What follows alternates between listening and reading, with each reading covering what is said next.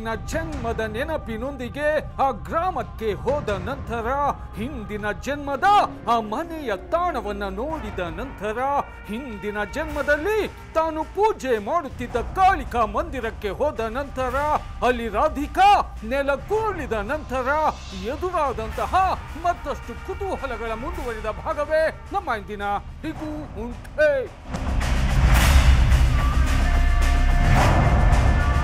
ಮಂದಿರದಲ್ಲಿನ ಗೆಜ್ಜೆಗಳನ್ನು ನೋಡಿ ಇದು ನನ್ನ ಗೆಜ್ಜೆಗಳು. ದಯವಿಟ್ಟು ನನಗೆ ಕೊಟ್ಟಿ ಬಿಡಿರೆಂದು ಹೇಳಲು ನಿಂತರು ರಾಧಿಕಾ.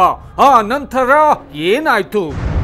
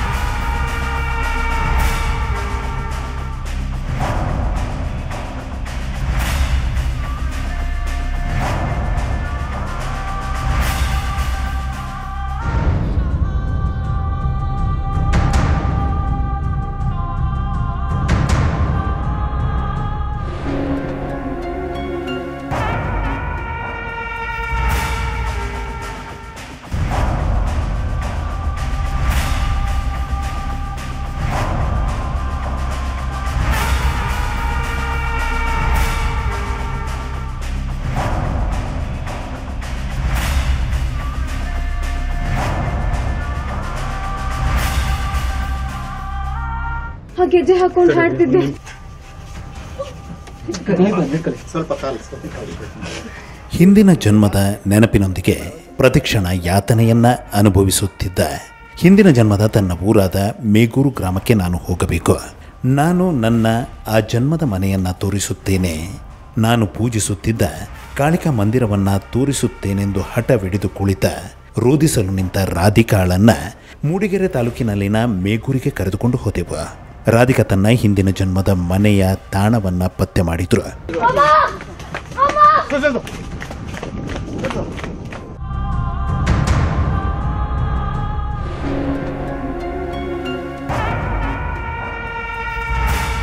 ಆನಂತರ ತಾನು ಹಿಂದಿನ ಜನ್ಮದಲ್ಲಿ ಪೂಜೆ ಮಾಡುತ್ತಿದ್ದ, ಹಿಂದೆ ಕಾಡಾಗಿದ್ದ ಇದೀಗ ಜವಳೆ ಗ್ರಾಮವಾಗಿರೋ ಆ ಗ್ರಾಮದಲ್ಲಿರೋ ಕಾಳಿಕಾ ಮಂದಿರವನ್ನ ಪತ್ತೆ ಮಾಡಿದ್ರು. ಕಾಳಿಕಾ ಮಾತೆಯ ಮುಂದೆ ಕುಳಿತು ರೋಧಿಸುತ್ತಾ ರಾಧಿಕಾ ಹೇಳಿದ್ದು ನನ್ನವರು ಎಲ್ಲಿದ್ದಾರೆ ಹೇಳಮ್ಮ ಅಂತ.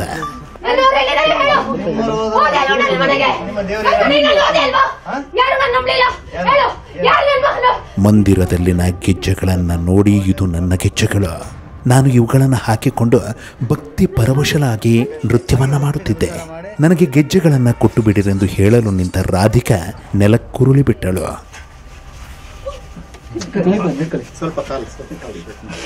ರಾಧಿಕಾ ನೆಲಕ್ಕುರುಳಿ ಆನಂತರ ಎಚ್ಚರಗೊಂಡಾಗ ನಾನು ಪ್ರತಿ ವರ್ಷ ಇಲ್ಲಿಗೆ ಬಂದು ಕಾಳಿಕಾ ಮಾತಿಗೆ ಪೂಜೆ ಸಲ್ಲಿಸುತ್ತೇನೆಂದು ಹೇಳಿದ್ರು. ಆನಂತರ ಮತ್ತೆ ನೆಲಕ್ಕುರುಳಿದ ರಾಧಿಕಾ, ಮೇಗೂರಿಗೆ ಹೋಗೋಣ ಮೇಗೂರಿಗೆ ಹೋಗೋಣ ಅಂತ ಹೇಳಲು ನಿಂತರು.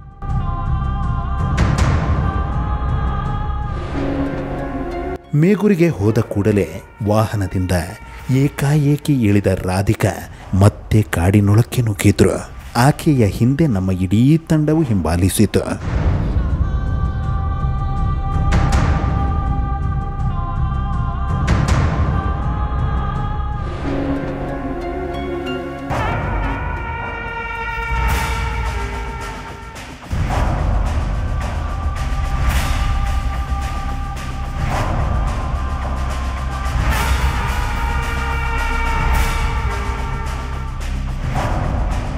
ಮತ್ತೆ ಏತಕ್ಕೆ ಕಾಡಿನಲ್ಲಿ ಈ ರೀತಿ ರಾಧಿಕಾ ಹೆಜ್ಜೆಗಳನ್ನಾಕುತ್ತಿದ್ದಾರೆಂಬ ನಮ್ಮ ಪ್ರಶ್ನೆಗಳಿಗೆ ಕೊನೆಗೂ ಉತ್ತರವು ಸಿಕ್ಕಿತು ಹಾಗೆ ಸಿಕ್ಕಂತ ಉತ್ತರವೇ, ನನ್ನ ಪತಿಯು ಪೂಜಿಸುತ್ತಿದ್ದಂತಹ ಶಿವ ಮಂದಿರವೆಂದು ರಾಧಿಕಾ ಹೇಳಿತು.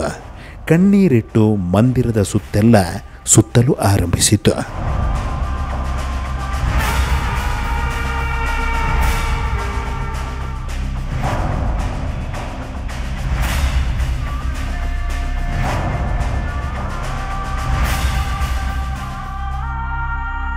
ಕಾಡಿನಲ್ಲಿರುವ ಅಮೃತೇಶ್ವರ ಮಂದಿರದ ಬಳಿಗೆ ಹೋದಾಗ ಮಂದಿರದ ಬಾಗಿಲು ಮುಚ್ಚಲಾಗಿತ್ತು. ಬಾಗಿಲಿನ ಕಿಂಡಿಯಲ್ಲೇ ಶಿವನ ದರ್ಶನ ಮಾಡಿದ ರಾಧಿಕಾ ಭಕ್ತಿಯಿಂದ ವಂದಿಸಿದ್ರು.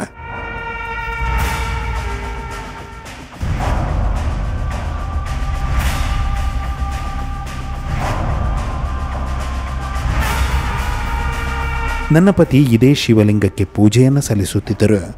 ಅವರು ಶಿವಭಕ್ತರಾಗಿದ್ದರು ಅವರು ಇದೀಗ ಸರ್ಪದ ರೂಪದಲ್ಲಿ ನನಗೆ ಕಾಣಿಸುತ್ತಾರೆಂಬುದು.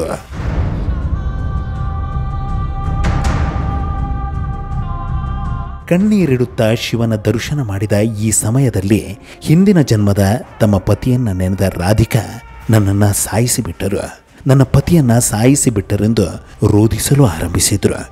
ಆನಂತರ ಮಂದಿರದ ಒಂದು ಬದಿಯಲ್ಲಿರುವ ದೊಡ್ಡದಾದ ಮರದ ಕಡೆಗೆ ಹೆಜ್ಜೆಗಳನ್ನು ಹಾಕಿದ್ರು.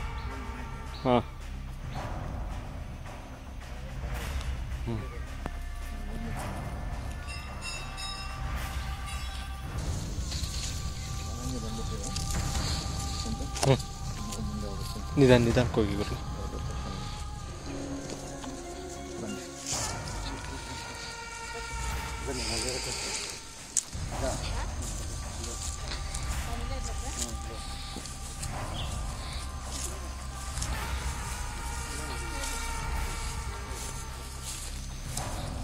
ಮರದ ಬಳಿಗೆ ಹೋದ ರಾಧಿಕಾ ಮತ್ತಷ್ಟು ರೋಧಿಸಲು ಆರಂಭಿಸಿದ್ರು. ಇದೇ ಸಮಯದಲ್ಲಿ ಆಕೆ ಕಾಣಿಸುತ್ತಿದ್ದಾಳೆ. ಆಕೆ ಕಾಣಿಸುತ್ತಿದ್ದಾಳೆ. ನನ್ನನ್ನ ತಡೆಯುತ್ತಿದ್ದಾಳೆ ಎಂದು ಹೇಳಲು ನಿಂತರು. ಅದ್ಯಾರು ಅನ್ನೋ ಪ್ರಶ್ನೆಗಳಿಗೆ ರಾಧಿಕಾಳಿಂದ ಬಂದಂತಹ ಉತ್ತರವಾದರೂ ಏನು ಅಂದರೆ ಹಿಂದಿನ ಜನ್ಮದಲ್ಲಿ ಪತಿ ಹಾಗೂ ಪತ್ನಿಯನ್ನ ಸಾಯಿಸಿದ ಜಹನ್ನವಿ ಅನ್ನೋದು. ಹೇಗೆ ಹೇಗೆ ನಳ್ಳಿ ನಲ್ಲಿ ಸಾಯ ಹೋಗ್ ಮಾಡ್ತೀನಿ. ಜಾಹ್ನವಿಯ ಸೇಡಿನ ಮಾತುಗಳು ಕೇಳಿ ಬಂದ ನಂತರ ರಾಧಿಕಾಳಿಂದ ಹಿಂದಿನ ಜನ್ಮದಲ್ಲಿ ಸಾವನ್ನಪ್ಪಿದ ಜಾಗವೂ ಪತ್ತೆಯಾಯಿತು.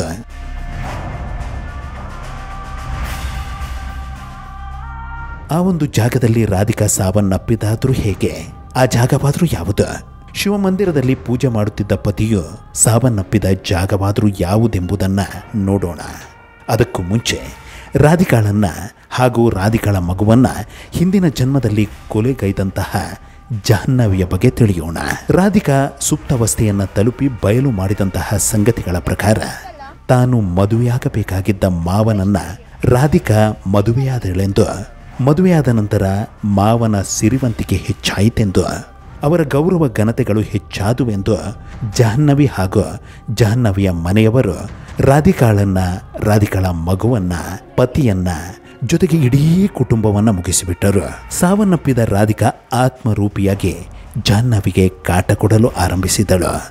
ಅಂತಹ ಕಾಟವು ತಾಳಲಾರದೆ ಜಾಹ್ನವಿ ಬೆಂಕಿ ಹಚ್ಚಿಕೊಂಡು ಆತ್ಮಹತ್ಯೆ ಮಾಡಿಕೊಂಡಳು. ಜನ್ಮ ಜನ್ಮಾಂತರದಲ್ಲೂ ನಿನ್ನನ್ನು ಬಿಡೋದಿಲ್ಲವೆಂದು ಶಪಥ ಮಾಡಿ ಆತ್ಮಹತ್ಯೆ ಮಾಡಿಕೊಂಡ ಜಾಹ್ನವಿ ಪ್ರೇತಾತ್ಮವಾಗಿ ರಾಧಿಕಾಳ ಮೇಲೆ ಸೇಡನ್ನು ತೀರಿಸಿಕೊಳ್ಳಲು ನಿಂತಳು. ಜೋಡಿ ಮುನೇಶ್ವರ ಸ್ವಾಮಿ ಕ್ಷೇತ್ರದ ಶಿವಶಂಕರ ಸ್ವಾಮಿಗಳ ಲೆಕ್ಕಾಚಾರದ ಪ್ರಕಾರ ರಾಧಿಕಾ ಹಿಂದಿನ ಜನ್ಮದಲ್ಲಿ ಸರ್ಪವಾಗಿದ್ದ ಕಾರಣ ಪ್ರೇತಾತ್ಮಕ್ಕೆ ನೇರವಾಗಿ ಸೇಡನ್ನು ತೀರಿಸಿಕೊಳ್ಳಲು ಸಾಧ್ಯವಾಗಿರಲಿಲ್ಲ. ಆದರೆ ಸೈಟಿನ ಮಾಲೀಕನನ್ನ ಆವರಿಸಿ ಹುತ್ತವನ್ನ ಹೊಡೆಯುವಂತೆ ಮಾಡಿದ್ಲು. ಸರ್ಪವನ್ನ ಕೊಲ್ಲುವಂತೆ ಮಾಡಿದಳು. ತನ್ನ ಪತಿಯಿಂದ ದೂರಾಗುವಂತೆ ಮಾಡಿದ್ಲು. ಆ ರೀತಿಯಾಗಿ ಸೇಡನ್ನ ತೀರಿಸಿಕೊಂಡಳು. ಆದರೂ ಎರಡನೇ ಜನ್ಮದ ಕೂಡ ಆತ್ಮ ಕಾಡ್ತಾ ಇತ್ತು. ಯಾಕೆ ಹಿಡಿಬೇಕು ಈ ಹುಡುಗಿಗೆ ಅಂತೇಳಿ. ಆ ಸರ್ಪ ರೂಪದಲ್ಲಿರುವಾಗ ಅವ್ರಿಗೆ ಆಗಲಿಲ್ಲ. ಹಾಗೆ ಅಲ್ಲಿ ಯಾರೂ ಜಮೀನು ವಾರಸ್ದಾರಿದ್ದಾರೆ ಈ ಆತ್ಮ ಅವ್ರ ಮೇಲೆ ಹೋಗಿ ಈ ಹುತ್ತ ಇರಬಾರ್ದು ಅಂತೇಳಿ ಹುತ್ತನ ಕೆಡಿಬೇಕು ಕಡಿಯಿರುವಾಗ ಆ ನಾಗನ ಹೆಣ್ಣು ರೂಪದ ನಾಗನ ಕೊಂದರು. ಕೊಂದ ಮೇಲೆ ಆ ನಾಗ ಸತ್ತ ಮೇಲೆ ಮತ್ತೆ ಆತ್ಮ ಅನ್ನೋದು ಅವರು ಮನೆಗೆ ಹುಟ್ಟಿದೋದು. ಹೆಣ್ಣು ರೂಪದಲ್ಲೇ ಹುಟ್ಟಿರೋದು. ಹಾಗೆ ಹಿಂದಿನ ಜನ್ಮದಲ್ಲಿ ಸೇಡನ್ನು ತೀರಿಸಿಕೊಂಡ ಪ್ರೇತಾತ್ಮವ ಈ ಜನ್ಮದಲ್ಲಿಯೂ ಸಹ ರಾಧಿಕಾಳಿಗೆ ಚಿತ್ರಹಿಂಸೆಯನ್ನು ನೀಡುತ್ತಿದೆ, ಯಾತನೆಯನ್ನ ಅನುಭವಿಸುವಂತೆ ಮಾಡುತ್ತಿದೆ. ಇಂತಹ ವಿಚಿತ್ರ ಸಮಸ್ಯೆಯಿಂದ ಬಳಲುತ್ತಿರುವ ಜೊತೆಗೆ ಜನ್ಮ ಜನ್ಮಾಂತರದ ನೆನಪುಗಳೊಂದಿಗೆ ಯಾತನೆಯನ್ನ ಅನುಭವಿಸುತ್ತಿರುವ, ಈಗಿನ ಜನ್ಮವನ್ನ ಕಣ್ಣೀರಿನೊಂದಿಗೆ ಕಳೆಯುತ್ತಿರುವ ರಾಧಿಕಾ ತನ್ನ ಸಾವು ಎಲ್ಲಾಯಿತು ತನ್ನ ಪತಿಯು ಸಾವನ್ನಪ್ಪಿದ ಜಾಗವಾದರೂ ಯಾವುದೆಂಬುದನ್ನು ತೋರಿಸಲು ಮುಂದಾದರು.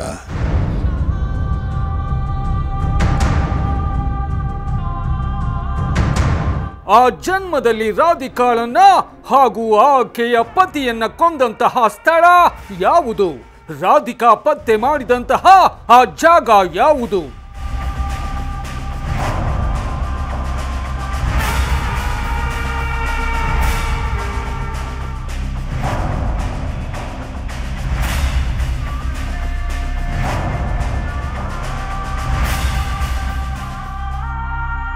ಶಿವಮಂದಿರದ ಬಳಿಗೆ ಹೋದ ನಂತರ ರಾಧಿಕಾಳನ್ನ ಬಹಳಷ್ಟು ದುಃಖವು ಆವರಿಸಿತು.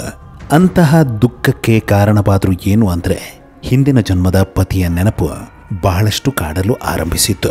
ಅದರ ಜೊತೆಗೆ ರಾಧಿಕಾಳ ಬಾಯಿಂದ ಒಂದು ಮಾತು ಬರಲು ಆರಂಭಿಸಿತು. ಆ ಮಾತಾದರೂ ಏನು ಅಂದರೆ ನನ್ನನ್ನ ಹಾಗೂ ನನ್ನ ಪತಿಯನ್ನ ಶಿವಮಂದಿರದ ಬಳಿಯಲ್ಲೇ ಈ ಮರದ ಬಳಿಯಲ್ಲೇ ಕೊಲೆ ಮಾಡಲಾಯಿತೆಂಬುದು. ನನ್ನನ್ನ ಹಿಂಗೆ ಹಿಡಿದ್ರು. ಹೊಟ್ಟೆ ಮೇಲೆ ಕಾಲ ಹಾಕಿ ತುಳಿದ್ರು. ಅಲ್ಲಿ ಹಾಕಿ ಹಾಕಿ ಹೊಡೆದ್ರು.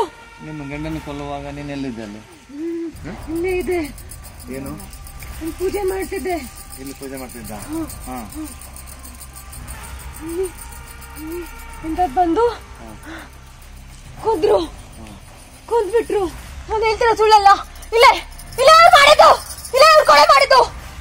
ಇಂತಹ ನೆನಪುಗಳಿಂದ ಪ್ರತಿಕ್ಷಣ ಯಾತನೆಯನ್ನ ಅನುಭವಿಸುತ್ತಿರುವ ರಾಧಿಕಾಳನ್ನ ಮಾನಸಿಕ ಆಸ್ಪತ್ರೆಗಳಿಗೂ ತೋರಿಸಲಾಗಿದೆ. ಅದಕ್ಕಾಗಿ ಲಕ್ಷಾಂತರ ರೂಪಾಯಿಗಳನ್ನು ಸಹ ಖರ್ಚು ಮಾಡಲಾಗಿದೆ. ಆದರೆ ಯಾವ ಪ್ರಯತ್ನದಿಂದಲೂ ಇಡೀ ಕುಟುಂಬದ ಮುದ್ದಿನ ಮಗಳ ಹಿಂದಿನ ಜನ್ಮದ ಇಂತಹ ವಿಚಿತ್ರ ಸಮಸ್ಯೆ ದೂರಾಗಿಲ್ಲ.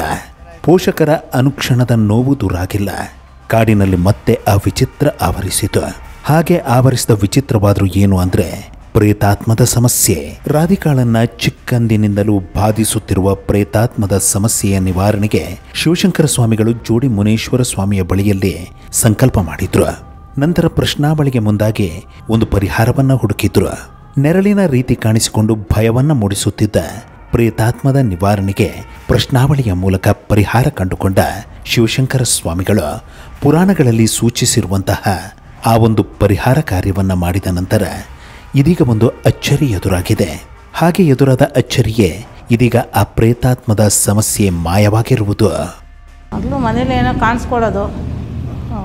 ತುಂಬ ಭಯ ಪಡ್ತಿದ್ಲು. ಏನೋ ನೆರಳು ಕಾಣಿಸ್ಕೊಂತಿತ್ತು. ಇಲ್ಲಿ ಬಂದಮೇಲೆ ಇವಾಗ ಕಾಣಿಸ್ತಾ ಇಲ್ಲ ಅಷ್ಟು. ಮೇಗೂರಿಗೆ ಹೋಗಿ ಬೆಂಗಳೂರಿಗೆ ಬಂದ ಕೂಡಲೇ ಶಿವಶಂಕರ ಸ್ವಾಮಿಗಳು ಮೊದಲಿಗೆ ಪ್ರೇತಾತ್ಮದ ಸಮಸ್ಯೆಯ ನಿವಾರಣೆಗೆ ಆ ಒಂದು ವಿಧಾನವನ್ನು ಅನುಸರಿಸಿ ಸಮಸ್ಯೆಯನ್ನು ನಿವಾರಿಸಿದ ನಂತರ ಮತ್ತೆ ಜೋಡಿ ಮುನೇಶ್ವರ ಸ್ವಾಮಿಯಲ್ಲಿ ಸಂಕಲ್ಪ ಮಾಡಿ ಪ್ರಶ್ನಾವಳಿಗೆ ಮುಂದಾದರು. ಸರ್ಪವೊಂದು ಮನೆಗೆ ಬರುವುದು ನಿಲ್ಲಬೇಕು. ಹಿಂದಿನ ಜನ್ಮದ ಪತಿ ಬಂದು ಕಿವಿಯಲ್ಲಿ ಮಾತನಾಡುವುದು ನಿಲ್ಲಬೇಕು. ಆ ಕುಟುಂಬದ ಸದಸ್ಯರು ಬಂದು ಮಾತನಾಡುವುದು ನಿಲ್ಲಬೇಕು. ಕೆಲವೊಂದು ಶಕ್ತಿಗಳು ಆವಾಹನೆಯಾಗುವುದು ನಿಲ್ಲಬೇಕು. ರಾಧಿಕಾ ಈ ಜನ್ಮದ ವಾಸ್ತವತೆಯಲ್ಲಿ ನೆಮ್ಮದಿಯಾಗಿ ಬಾಳಬೇಕು. ಮತ್ತೆ ಕಾಲೇಜಿಗೆ ಹೋಗುವಂತಾಗಬೇಕೆಂಬ ಸಂಕಲ್ಪದೊಂದಿಗೆ ಶಿವಶಂಕರ ಸ್ವಾಮಿಗಳು ಪ್ರಶ್ನಾವಳಿಗೆ ಮುಂದಾದರು.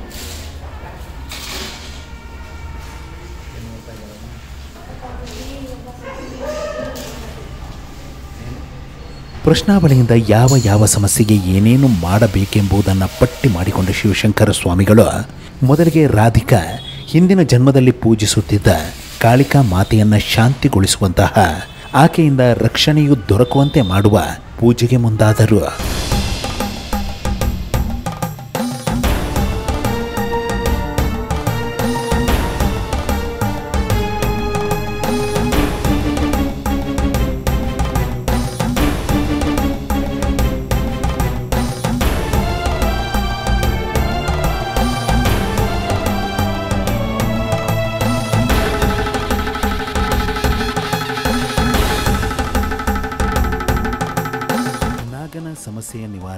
ನಾಗಪೂಜೆ ಸೇರಿದಂತೆ ಪ್ರಶ್ನಾವಳಿಯಿಂದ ಸಿಕ್ಕಂತಹ ನಾನಾ ಪೂಜೆಗಳನ್ನು ಹೋಮಗಳನ್ನು ನೆರವೇರಿಸಲಾಯಿತು.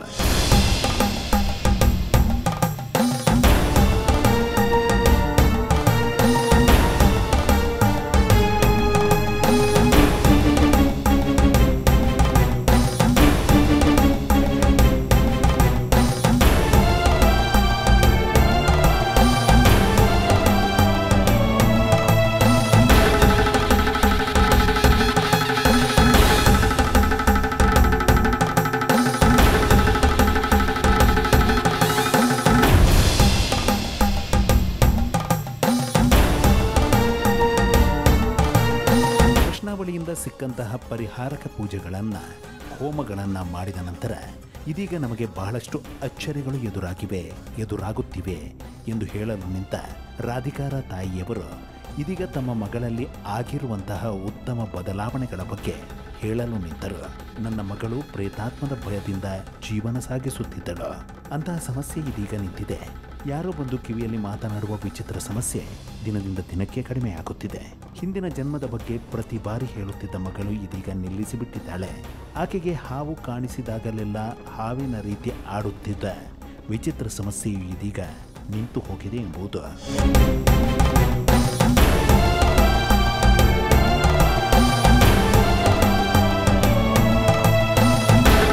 ಸುಮಾರು ಲಕ್ಷಾಂತರ ರೂಪಾಯಿ ಖರ್ಚು ಮಾಡಿದೆ. ಎಲ್ಲಿ ವಾಸ ಆಗಲಿಲ್ಲ. ಇಲ್ಲಿ ಬಂದ ಮೇಲೆ ನಮ್ಮ ಮಗಳು ಚೆನ್ನಾಗಿ, ಇಲ್ಲಿ ಬಂದ ಮೇಲೆ ನಮ್ಮ ಮಗಳು ಚೆನ್ನಾಗಾಗಿದ್ದಾರೆ.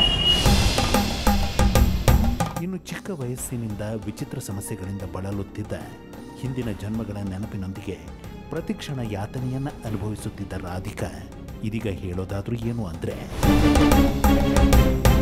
ಇಲ್ಲ, ಅಲ್ಲಿ ಇಲ್ಲಿಗೆ ಬಂದು ಹೋದ್ಮೇಲಿಂದ ನನಗೆ ತುಂಬ ಕಡಿಮೆ ಆಗಿದೆ ಕೇಳಿಸೋದು ಸದ್ದೆಲ್ಲ ಮೊದಲು ದಿನನಿತ್ಯ ಬಂದು ಮಾತಾಡೋದು ಈ ಥರ ಎಲ್ಲ ಇತ್ತು. ಈಗ ಅಷ್ಟೊಂದೇನು ಸದ್ದು ಕೇಳಿ ಬರ್ತಿಲ್ಲ ನನಗೇನಂದರೆ ಈ ಇದು ಕನಸಿಂದ ಮತ್ತೊಬ್ಬರ ಜೊತೆ ಮಾ, ಯಾರು ಕಾಣದೇ ಇರೋರ ಹತ್ರ ಮಾತಾಡೋದು, ಇದೆಲ್ಲ ನನಗೆಲ್ಲೋ ಒಂದು ಕಡೆ ಹಿಂಸೆ ಆಗ್ತಿತ್ತು.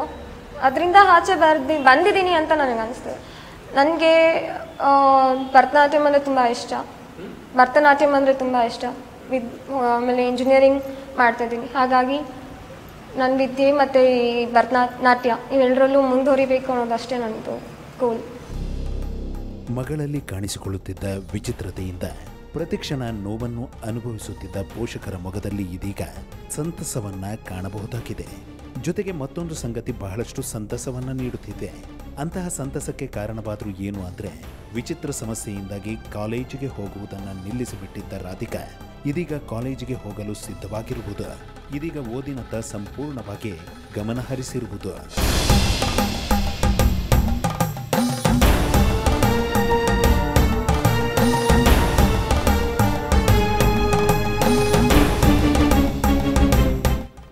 ಎಂತಹ ಭಯಾನಕತೆಯಾದರೂ ಎದುರಾಗಬಹುದು.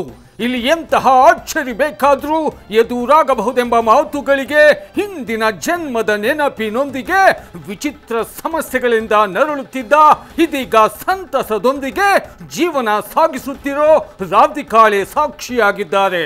ಇಂತಹ ಹಲವು ಸಂಗತಿಗಳ ನಡುವೆ ನಮ್ಮನ್ನ ಕಾಡುವಂತಹ ಕಟ್ಟ ಕಡೆಯ ಪ್ರಶ್ನೆ ಹೀಗೂ ಉಂಟೇ.